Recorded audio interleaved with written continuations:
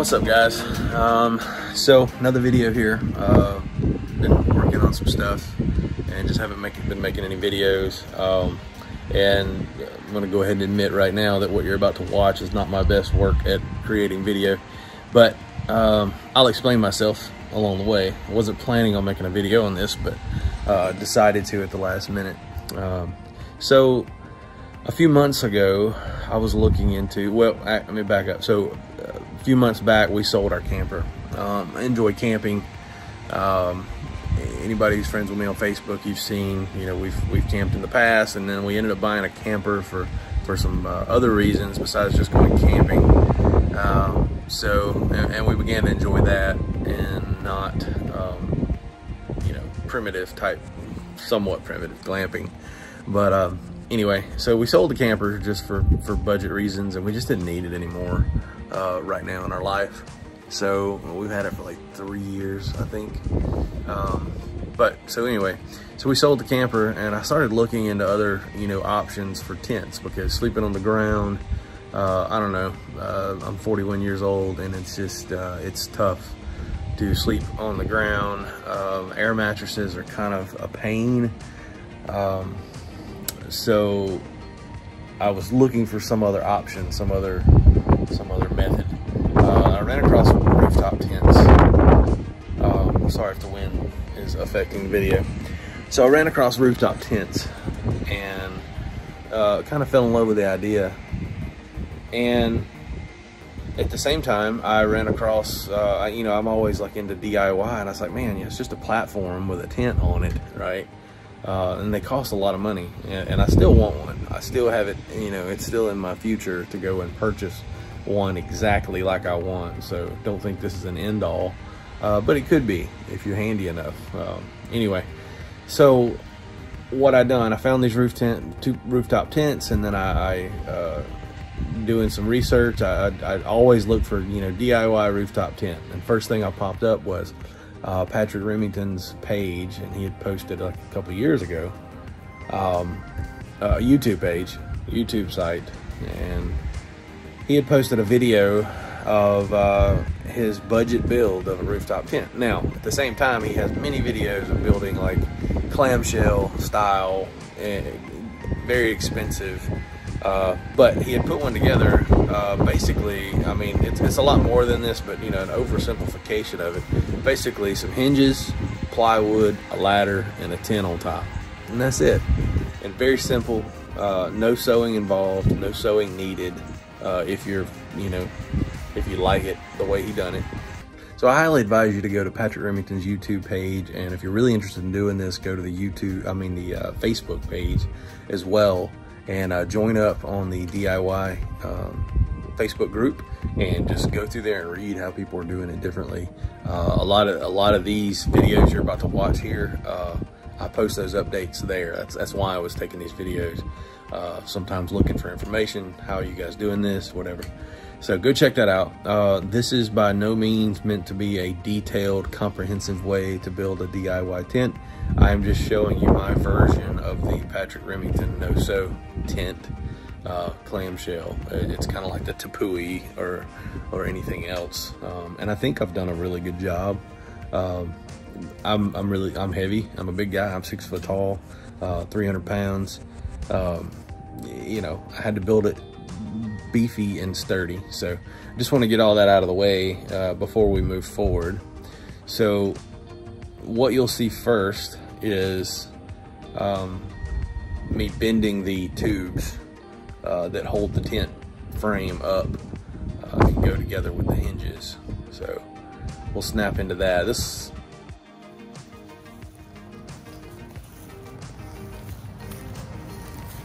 Outdoors pop-up tent.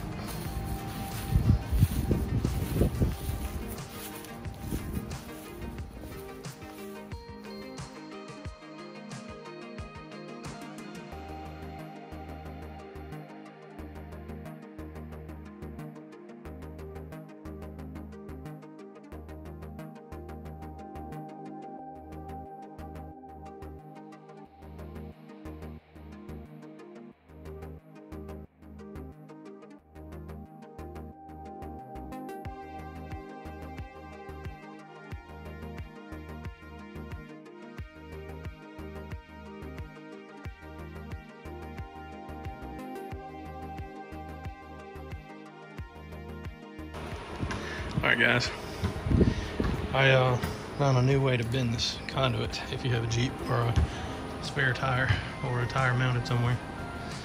Um, I mean, beautiful bends too. So 33 inch, if you got bigger, works out even better. what I did was, the other one was kind of trial and error, but uh, I've got a 48 inch wide surf uh, area.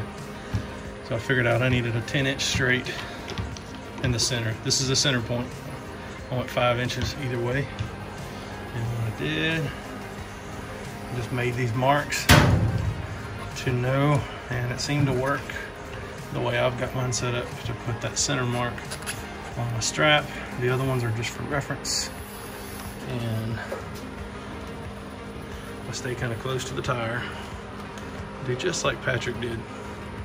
But uh, just bend it down. It is not hard at all.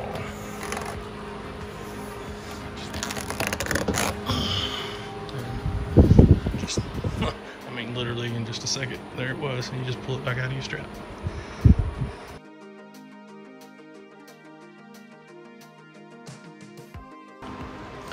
All right, my peeps. Um, little little headway there on our tent. Um, that door is just naturally offset like that. As you can see, the top's kind of centered on my bars. Uh, just necessary evil, I guess. Um, I got, I've got the uh, actual working folding prototype, I guess you'd say. Um, this is kind of a hack job here, but uh, I got it connected here. I've got my initial split made up to my pivot point. I've already folded it, so I know it's enough. Um, I gotta sew some seams here, kind of tidy this up, and then put me a uh, sew a piece, you know, across the top with some Velcro to seal that up. You know, once everything is sealed. Um, any of you who are using this blue Wakeman that's oval shape, obviously it's the struggle, but um, still working on really trying to get it as square as possible, but you know, more to come there. But it's got these tie down points. I just use the tie down points. And um, something to know on this cheap material is when you go to put these in, um, two ways you could do it, I guess. You could take a, a soldering iron and, and melt a hole through it and then use the screw. What I did was run the screw backwards and kind of melt it through and then turn it back the other way. Because if you just go to try to stick through it, it's gonna twist this material up and tear. You try to do it a couple times. So it's the only places I got it connected is the four corners and then the pivot point, um, just to uh, verify that, you know, it's gonna kind of work. But you see my hinges, um, those screws, uh, let me try to do this without turning my camera back off. You see those screws right there holding that coupling. Um, there's a coupling here. Uh, half inch EMT, um, ARB hinges came with these black pieces. Uh, came with like actually double, but and I've got two sets. But uh, use this coupling. You follow my look back at my uh, other um, post in the DIY rooftop tent page, and you'll see these couplings. I put the part number. It had threads on it to force thread into the EMT, um, but it was just too tight. Uh, don't really know how you're supposed to use them, but I shaved the threads off, so it was just a straight shaft here and here. Um, and it perfectly fits inside this black. This black piece in that EMT is the same ID uh, inside diameter. So uh, some other people use some PEX piping, I think half inch PEX, and it fit in there as well. But I wanted something steel.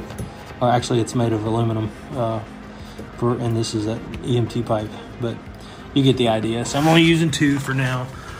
Um, let you see. So my idea, I'm gonna use nylon webbing or strap. Actually, uh, I know some of you said you were following my build, so I'm just trying to give you some details along the way because honestly, it's hot and I come out here working on it. I really don't want to video things. Um,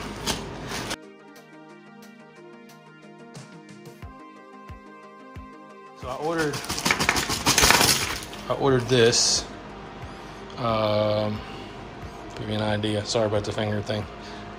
So I ordered that off Amazon. I'll try to post the link later, but it's uh, quite a bit. It's 16 yards of one inch strap. So my idea is I'm going to uh, double in, uh, double the end wherever I mount this corner portion. You see it's got this uh, seam right here, and that's kind of the stabilizing seam. I don't know what you'd call that, honestly, but it's kind of the, when you pull everything tight, these are tight, and it's got a reinforcement on the inside as well. so I'm gonna run that strap from here up. I was planning, I don't know for sure, but my idea, um, I was planning on making a, um, you know, like a loop and sewing it. Uh, sewing a loop like that um, when I find out where it's going to land so that the strap will stay, you know, same idea, same concept as the uh, metal, uh, the, the, the, the, cables that Patrick used. Um, but I want to do that to keep from having to put any kind of screws or anything. And plus it'll be soft. Um, and probably before final, you know, final makeup, sew some uh, covers on these bars to keep everything all smooth because eventually it'll probably rub through the tent. Um, what else? Got these cool windows. Um, those of you using this tent and plan on using it, you know, more than like once, me show you. It's got these like awning things on it. Um, I could see, I could see being able to mod that to actually be an awning with the awning poles possibly, if you want to go through that trouble.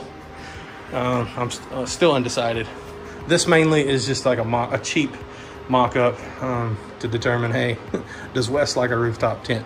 Is it actually something he can use? Because it's just hard for me to drop, um, you know, thousand, fifteen hundred bucks in something that I'm not hundred percent sure will actually meet all my needs. I think it will. I got a bad back. Sleeping on the ground's hard. Um, most of the time you uh, I know you can't see it but there's a Jeep out there. that's my Jeep and that's my truck. Um, the truck's more shiny show that's our family car really. Um, really fortunate to be able to say that. But uh, anyway so I got the Jeep. I don't have a lot of room to carry around and a lot of times I'm trying to. The idea is to mount it here on this remove the cargo carrier and uh, do that so catch up